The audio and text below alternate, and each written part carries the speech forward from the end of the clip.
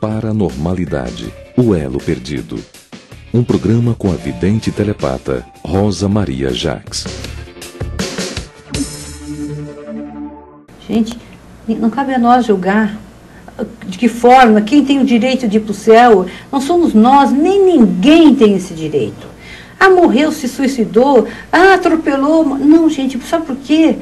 Porque eu acredito que existe uma energia lá em cima que as pessoas estão no nome de. Então, aquela, aquele, aquela energia sabe muito bem o que nós estamos passando, o que nós estamos fazendo, o que nos levou a tirar a morte, ao suicídio. Não somos nós que vamos julgar. Se ele vai para o céu ou não, não somos nós que vamos. Morreu, não tem direito a nada, tem direito, porque o desespero daquela, daquele ser é entendido lá por cima.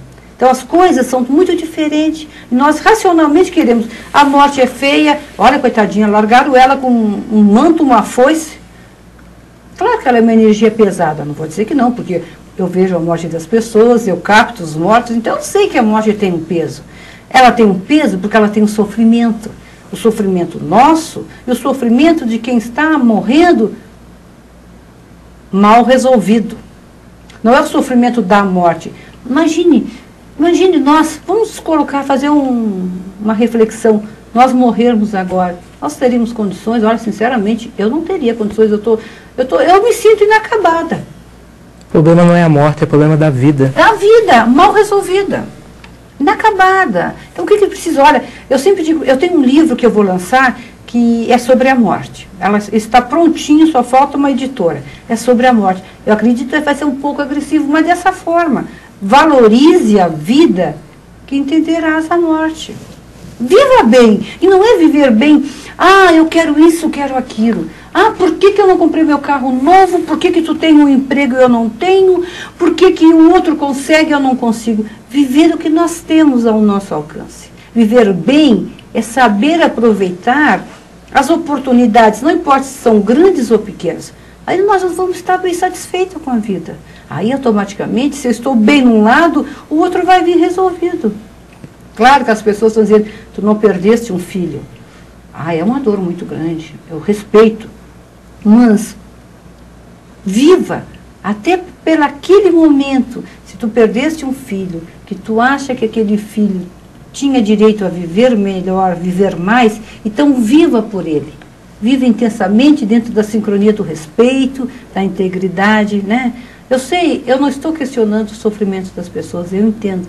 Estou mostrando que nós não podemos negar a existência da morte. E, e só vou dizer uma coisa, ninguém ficou para semente ainda, né? Ninguém, eu não vi ninguém. Chega uma certa hora, né, nós temos, a, a vida é cíclica, tudo é ciclo.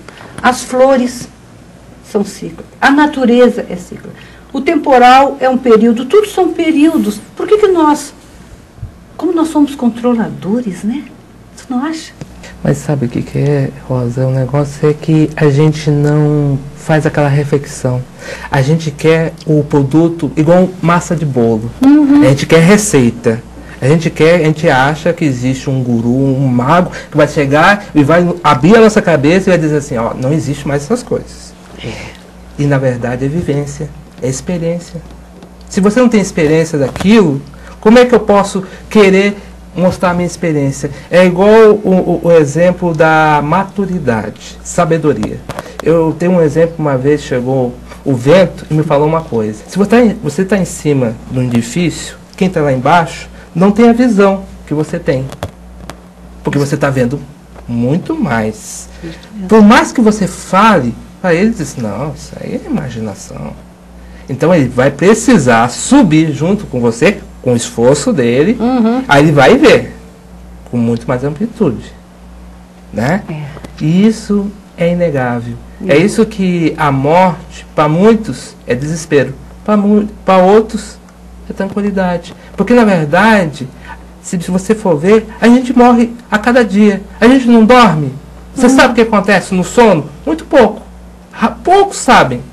Né? Dormem e ali acordam o corpo quase fica num processo bem tranquilo, as funções orgânicas bem baixas, quase semi-morto. Isso mesmo. Mas o que? As pessoas não param. As pessoas não param para ver que existe a noite, existe o dia. E tudo, como você falou, é só a gente olhar. Mas como é que a gente olha se a gente não olha para dentro de si? Isso mesmo. Não é verdade? É, eu concordo muito contigo. Às vezes, é, mas uh, sabe qual é o problema, Gilberto? Olhar para nós é tão difícil, dói tanto, porque nós, uh, todos nós temos muitas coisas para trabalhar dentro de nós. É muito mais fácil eu te corrigir do que eu me corrigir. Gente, é incrível esse, essa tal exame de consciência. Quando a gente para, nossa, eu fui grosseira, eu não precisava ter feito isso.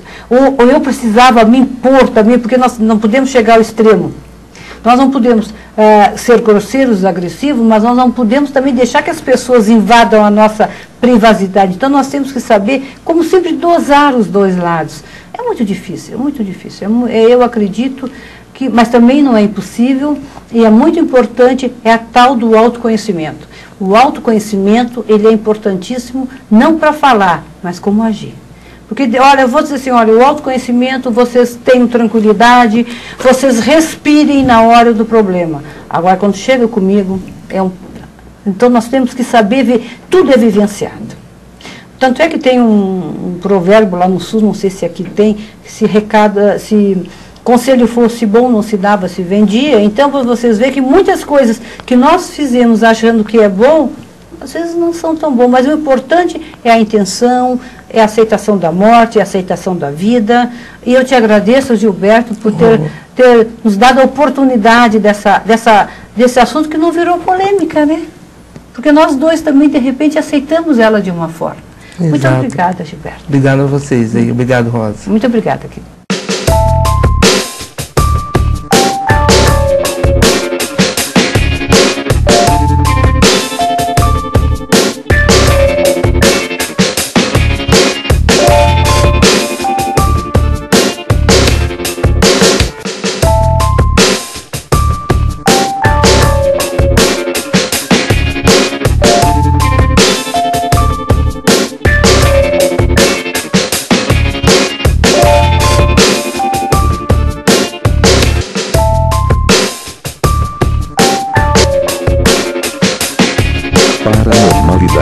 Duelo Perdido.